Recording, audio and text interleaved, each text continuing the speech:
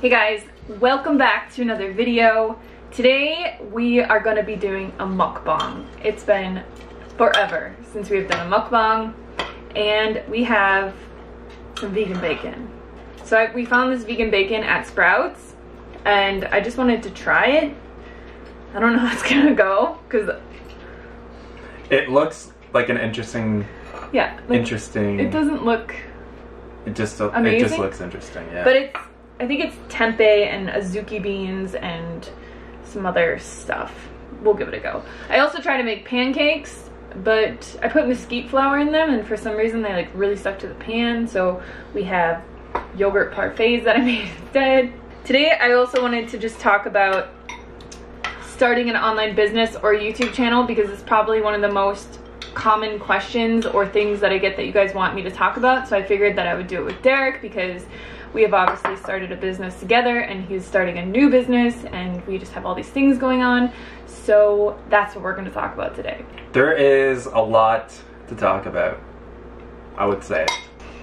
yeah. Well, we'll just touch on It's the like main it's like where it's like where to begin. I guess. We'll touch on the main point. So I think the biggest thing when you start an online business or a YouTube is like you have to find what is unique about you and focus on that because if you're just doing what everybody else is doing or even like copying what someone else is doing, which I'm very guilty of trying to do in the past because a lot of times I think when you start a YouTube or you start making videos, you just don't really know what to do. So you follow the, you know, the people that inspired you or you like the way that somebody does a video. So then you just kind of copy that format. That doesn't really work. But most of the biggest YouTubers that I know at least have something special about them, right? So like what's special about me is my weight loss journey. What's special about Mommy Tang is her mukbangs and Supreme Banana has her veganized thing. Rawvana, you know, does videos in Spanish. There's Raw Alignment who's just had so many viral videos. I can't even count them. Mm-hmm. But like everybody that I know that's big on YouTube has something very unique and very special about them. So everyone has something special about them and something unique and everybody can make a living online and everybody should make a YouTube because everybody everybody can inspire somebody else. I always tell people that because they're like what would you tell someone if they get started on YouTube? And it's like just start making videos because everybody was inspired by somebody to go vegan. Mhm. I know I was. So you can inspire somebody else. Mm. I think something that you also want to think about. Like I made a video recently on my channel with our uh, headshot photographer Peter. That's not bad. Did you try it? Yeah, it is actually pretty good. It's not too bad. I like it. And the title of the video is Do What You Think Is Cool. And I think that that is a really important, like, if you want to draw people into your life, you want to do something that is interesting. You want to do something that's cool. Mhm. Instead of just, Doing what you think will make money. or just living a boring life. So when I started my YouTube, it was like my other channel about five years ago. I just thought it would be cool to live a very simple, minimal life, ride my bike around different, like bike uh, cycle tour around different countries, and just really kind of like live a different life that would be interesting to other people. And obviously, it's something that I wanted to do, but I thought that was cool. And that continued with the tiny house build. Like I thought, man, that, that would be cool to build a tiny house and also document it on YouTube. So start thinking about like kind of what Hannah mentioned is like what's gonna make you special, what's gonna make what you're doing cool. Because you have to hold people's attention and you want Yeah. people to really get engaged and to get um, invested in your YouTube channel and in your videos. I know I just went over just about a week ago without posting a video for an entire week, and people were like sending me messages and even Hannah messages as well saying like, we want Derek to post more videos. That's that's good feedback because you have people that are constantly thinking and expecting your videos. And it's because obviously like you know, we've done hundreds and hundreds and hundreds of videos on YouTube, so we've gotten good at it. But we've also got like a really cool kind of story and a really cool life that people are really interested in. What you see in the mainstream. Yeah. And a lot of people just they just kind of get that inkling that uh, they get that interest in what you're doing. And that's something that you really want to start to think about is how can I kind of differentiate myself from other people? How am I special? And how can I make it interesting? How can it be really cool? And how can I help other people? Absolutely. That's like the biggest thing. and you want to start thinking about how through even if you don't think that you have anything of value to offer to people just documenting your journey from whatever you're doing. People really love to connect with a journey. So that's why a lot of people have connected with hannah on her weight loss journey. People connect with like the tiny house journey and um, stop on me. developing our you always do that. I and have to change my developing and like the journey of like developing our land and our property. It's all like this journey and this story that people can really follow. And that just some like some people even mention that my youtube channel is better than HGTV like it's just more interesting for people to watch and so i think that's if you're if you're wanting to get into social media that's such an important thing is that you want it you want to be able to create engaging and compelling content so that people want to watch it and when you start off at that baseline, where you're like, I want to create like compelling videos and engaging videos, then the videos that you do produce are going to be much better, and you're going to start thinking in a, in a different way. And those are really important things. Definitely when you're starting and you're kind of like, you know, maybe thinking and visualizing about what you want, or thinking about the videos that you're going to make, is, yeah, you really just want to do what you think is cool, and go from there. I can't believe I fell my shirt. I just feel like this is like one of my new favorite shirts. I have to soak it right now. One of the big things also that I think a lot of people struggle with with YouTube is they overthink it. Like they're just oh, like, Oh, yeah. how am I gonna how am I gonna make my life interesting? How am I gonna like help other people? How am I gonna edit a video? How am I gonna film it? Honestly, like I just tell people start making videos and start putting them up and you'll figure it out. Editing and all that stuff will come with time and it just all comes with experience. If you go back and watch any of our first videos, they're terrible, like terrible. So don't expect your videos to be like Casey Neistat or something right off the bat. Absolutely, and I think I this is a lesson that you can learn from some certain YouTubers, like Casey Neistat, for example. Hannah just mentioned him.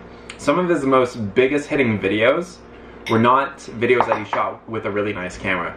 They're videos that he shot on his phone with a simple point and shoot camera, like pretty well as basic as you can get. I don't even think it was in. It, it was probably in like 720p, which is it is high def, but it's not even 10. It's not even 1080p. So a lot of people they, use like either the camera or their knowledge or skill of editing videos as basically a roadblock. But it's like you just need to start. You'll you'll figure it out. You just need to start doing it, and just start with one video. Talk about something that you're interested in, something that you think other people will feel that is valuable, and just talk about it on a video. Take the memory card, stick it in your computer, edit it, or do it on your phone. You can edit videos on your phone as well Hmm. and then upload it to YouTube. And at least just get started. Get the ball rolling. Yeah. That's like the biggest thing with people is that they constantly doubt themselves, they talk themselves out of it, and it's like just say, I'm gonna make a video today. Today I'm gonna make a video and upload it to YouTube. Like if that's something that you wanna do. If you don't wanna do it, then don't do it. So It's a different way. I would say the biggest mistake that I see a lot of people also make is that they think that they're gonna start YouTube and just make like like be able to support themselves off YouTube. We couldn't even support ourselves off of our YouTube income. Like if it came down to it, maybe we could.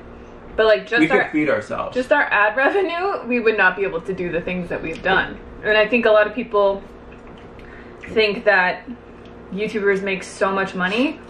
I mean, I think between both of our channels, we make like five grand a month, about that, yeah. which, I mean, to some people that might be a lot of money, but When you've got big goals and aspirations, yeah. it's not that much.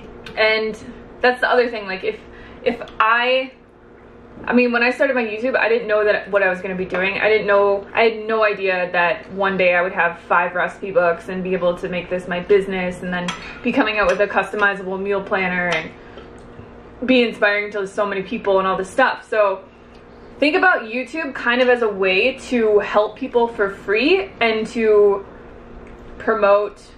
It's like pay it's free advertisement because people pay so much money to advertise on Facebook, on Instagram, even on YouTube, on the TV, whatever.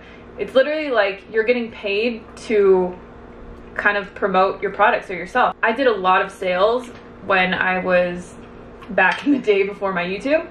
And I um one of the biggest things that I learned in sales was that you don't you don't push sales on people. So if I mean you guys will rarely ever ever even hear us talk about our ebooks because we don't like we don't have a thing at the beginning of every video that's like hey check out my ebook or like at the end of every video. And my t-shirts. And my ebook. we have a link and that's one of the things that i learned through um, sales training and marketing and stuff. It's like you're basically selling yourself. Whatever you're selling you are selling yourself. If somebody doesn't like you they're not going to buy anything from you. If they like you they'll buy anything from you. On that same note it's like you want to be able to find a way to help people to give something of value and it's like an equal value exchange. So what Mm. you're giving you're getting back and it's not just like support me on patreon watch my YouNow for five hours and whatever you know? Like the only way that we make money is through youtube ad revenue through our ebooks through and we make a little bit of money on amazon but we don't have a patreon or YouNow or anything like that and I just don't think that you need to. I think if you provide valuable products and that's kind of your goal when you start your YouTube is like I'm going to write an ebook for people who are recovering from or you know who are suffering from arthritis or f- are trying to get off their type 2 diabetic meds or like there aren't really any ebooks out there about that stuff. So that'd be something good. You know, or something different that's not just like a recipe book like we did. Ours are kind of focused around weight loss though. You know what I'm saying? so yeah. this bacon is really good. the bacon is actually pretty good. The text it doesn't taste like bacon. I'm stumbling here. It does not taste like bacon. No, but I mean, somebody who the Flavor is good. the flavor is good and the texture is good. But the texture is not like bacon at all. It's more like tempeh, like a thin Mm. tempeh. It's like a smoky maple flavor. It's really good. I like it. I hope it didn't ruin my shirt. Some people run their business, like their online business, like our buddies, our buddy uh, Neil and Whitney. Like they don't have a social media presence like we do. They Mhm. focus more so on the advertising aspect of it. So they advertise through Facebook and Instagram to promote the products that they've created. And that's how they kind of do it. And that's a different way of doing it. There's pros and cons to each way. Like there's cons to starting a YouTube channel and to base that on your business, like to base that as a way to boost your business. hmm But there's also a lot of pros as well. What's that? Free advertising. It's yeah, it's like it's paid advertising, but you're also trading time in order to make the videos. Whereas Yeah. like you could set up an advertising program that would just work automatically. There's so much more to YouTube though than just like promoting your products. It's like it's literally a community of people that I love that I get to connect with every time I make a video and like talk to you guys and share my life with you guys. Like I don't even see it as a way to promote our products because like I said, we never say like, "Oh, here's my ebook." You know, unless specifically I'm making something from an ebook. But yeah. And I think an important thing is that people want to get before they give. So you want to focus on giving as much free value, and then that really kind of starts to bring people in. It comes back to you. Absolutely. So there's hundred like Hannah. I don't know how many videos you have on your channel. Probably 600. 600. On Life Inside a Box, I probably have like three or 400. And then on my other channel, I think I had another 400. So those are all just like free videos that we put out. We have a free weight loss cheat sheet. We have free recipes on our website. Um, you we can have get good everything. Facebook groups. You can get everything from us for free, basically. Yeah, Like the thing with lean and to, clean. to a certain extent, yeah. well, like with lean and clean, like you could get all of that. I even said this when it came out. I was like, you can get all of this for free on my channel because I've talked about it. It's just you have to go through 600 videos, you know. Whereas if you buy the book, it's like very concise. But it's like we're not selling you anything like secretive. Like, oh, here's the secret. You know, Mhm. you got to buy this to get the secret. It's like, no, it's all there. yeah, just keep in mind that there's a lot of different ways of going about this. But the first thing is is that you do want to start and posting Yeah. on YouTube or learning more about how an online business works and going from there. Because people I remember when we were at the last Bob Proctor event, I got known as like the YouTube guy, even though Oh my god. I, I feel like I'm more of like an off-grid homestead guy, not a YouTube guy.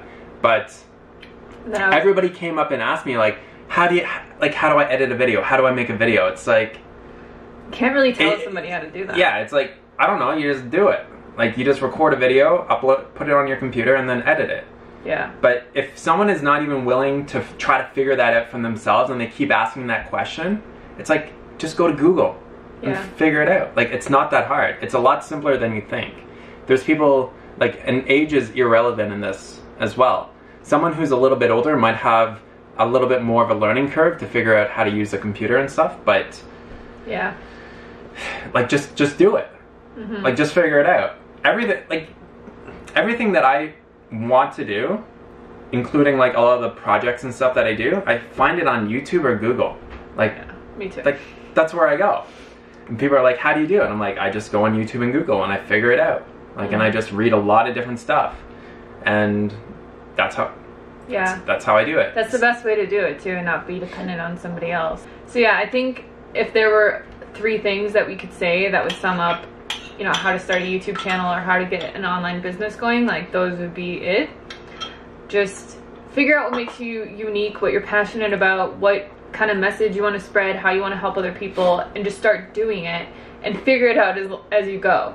Mm-hmm. And have like also have, you know, obviously a vision in mind of where you want it to go and how you could see it helping people and how down the road you could write ebooks or develop a program or a video course or anything, you know, to help people and just do it with like every passionate cell in your body because it really is it takes a lot of passion to do YouTube. Like you have to really love doing it.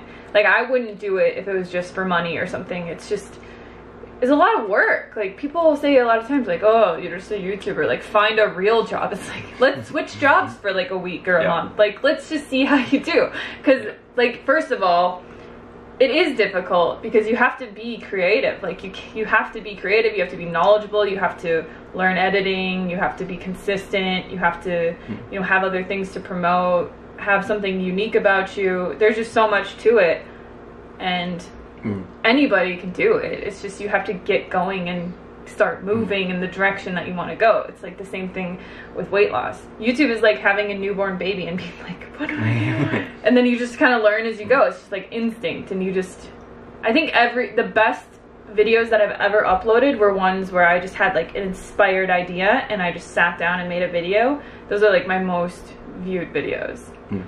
You know. So you also don't have to overthink the videos or copy anybody else. Just be like, I want to make a video about this, and then just do it. Just make it. Mm-hmm. Don't worry about the quality or whatever. It'll just come with time, and you'll just get better and better, and your audience will grow, and everything will be good. persistence and consistency are some of the biggest important factors In for life. social media and in life in general. Like there are YouTube channels that I've seen who've gotten up to a significant number of subscribers, like 10,000. And you'd think to yourself, wow, that's a, that's a really good number. Like that's a lot of subscribers.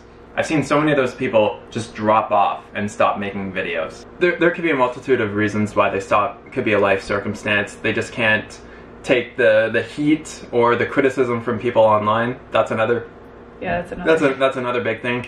We could talk about this for probably a few days and make it into a seminar, which wouldn't be a terrible idea. But We'll make um, it into a 20 minute video and stop pretty soon because Derek will keep talking forever.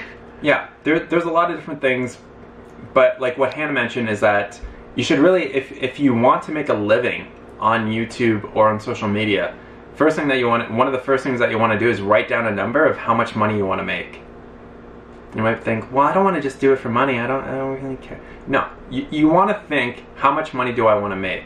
Because if you make a significant amount of money, then you can help more people. And you can extend the service of whatever it is that you're doing to many more people if you have a sustainable income. So think about that as well. Write it down, visualize how your life would look if you're doing what you wanted to do and if you're making that amount of money. Yeah. So those are our tips. I don't. I think my camera might cut out, but it might keep going. I don't know. So yeah, like we said, figure out what makes you you. Figure out what makes you unique. Do what you think is cool. yeah.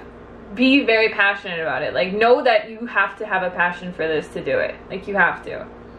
And then just start doing it. And have some goals written down. Be persistent and consistent, and then have an idea of where you're going. Yeah. And that's it. But yeah, it really just does take a very consistent effort, a lot of passion, a lot of desire to help other people. And I mean, you have to be ballsy enough to put yourself out there on the internet as well and share your life with people Mhm. and take all all the trolls and all the shit talkers and just laugh at them. So those are our tips. Let us know if you guys want more mukbangs or let us know if you hate these and we'll stop making them. I think it's great. I'm just I'm just I want my viewers to chime in. Okay. That's another good tip right there. Ask your viewers to leave a comment Yeah. about something. So we will see you on the next video.